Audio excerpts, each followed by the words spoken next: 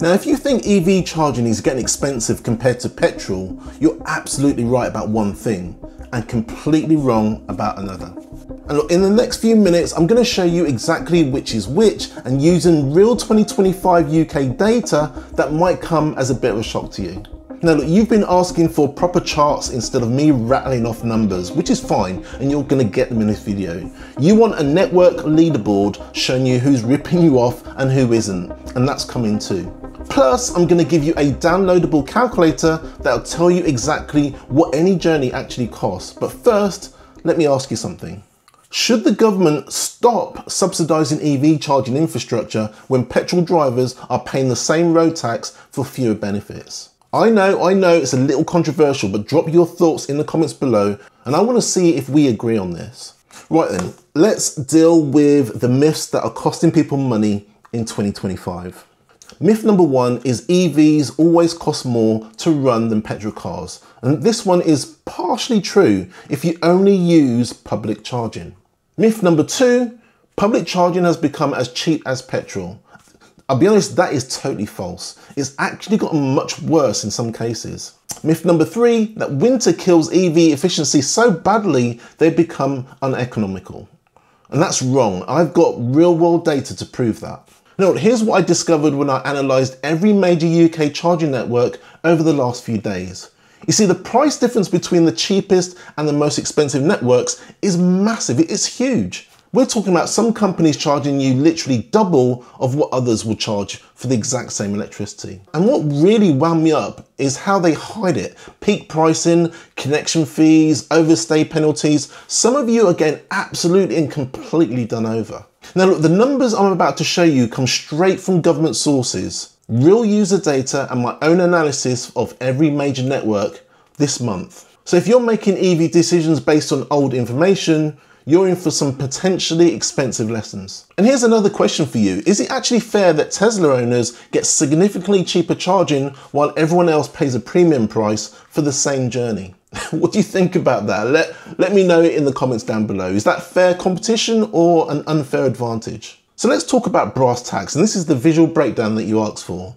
These are September 2025 real world costs per mile in the UK. Now look at the home off-peak figure one and a half to two pence per mile. That's like driving a car that does around 160 miles per gallon and up to 200 miles per gallon for the most efficient EVs on the best tariffs. And look, even on standard home tariffs, you're looking about 65 miles per gallon equivalent efficiency. So here's the league table that you asked for. Every major UK networked ranked by price as of September 2025. So you got the Champions League, you got the cheapest. Number one is Charge Place Scotland, often zero pence per kilowatt hour when solar's working. Number two, you've got Tesla superchargers. That's about 37 to 45 pence per kilowatt hour. Then the number three, you've got Roam charging. That's 39 pence per kilowatt hour from September.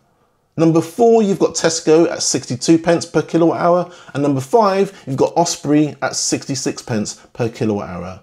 The relegation zone most expensive is GridServe at 79 to 89 pence per kilowatt hour after their summer price hike. Then you've got BP Pulse, which is up to 89 pence per kilowatt hour unless you pay £7.85 pence monthly subscription.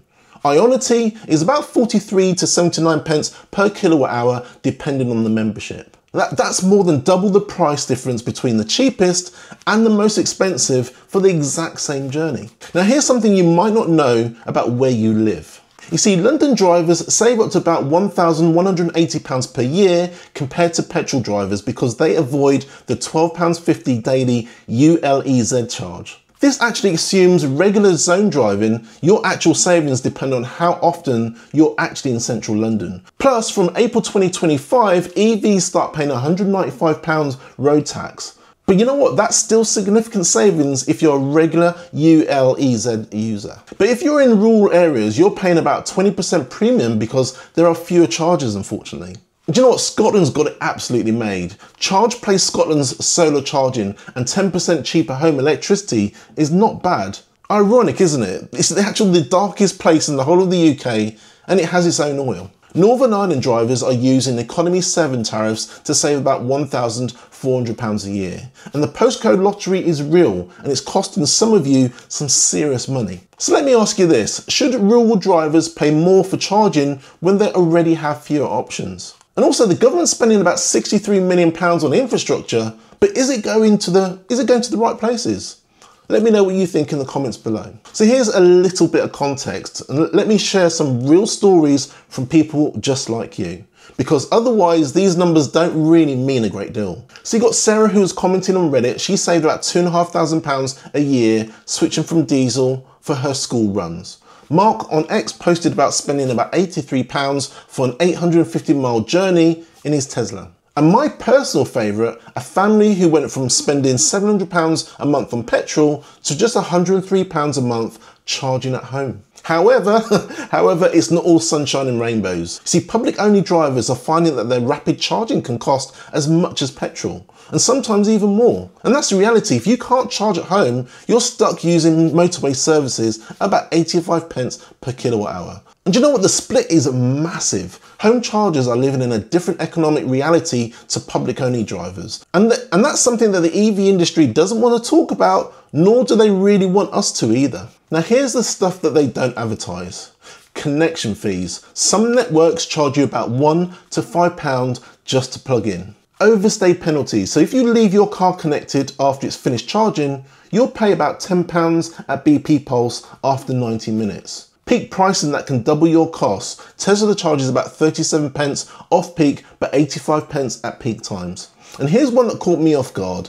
EV insurance runs about 13% higher on average. So we're talking about roughly £629 for EVs versus £557 for equivalent petrol cars. That's an extra £72 a year, which is not huge, but worth knowing about when you're calculating your total costs. So here's how you want to avoid these traps. You want to check ZapMap before every journey for real-time pricing. So what you want to do is set charging limits on your car to avoid overstay fees and use apps like Octopus to find your off-peak charging hours. And always read the fine print on charging subscriptions. Some aren't worth it unless you're doing some serious mileage. Right, so I actually promise you the tools you can actually use and I'm putting together a downloadable comparison sheet with all the figures that you need.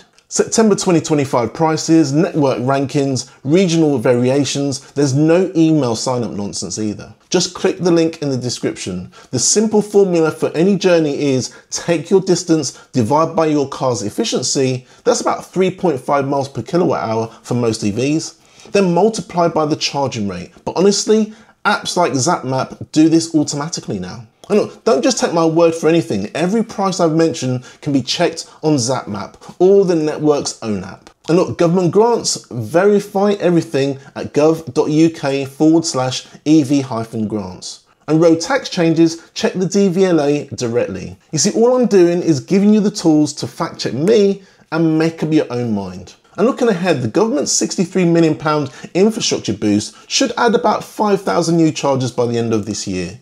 Prices seem to be stabilising after those summer, summer hikes. And new networks like Roam are entering the market with competitive pricing. And the cool thing is the trends are moving in the right direction, but pretty slowly. So if you're interested guys, download those charts in the description and I'll keep them updated as prices change.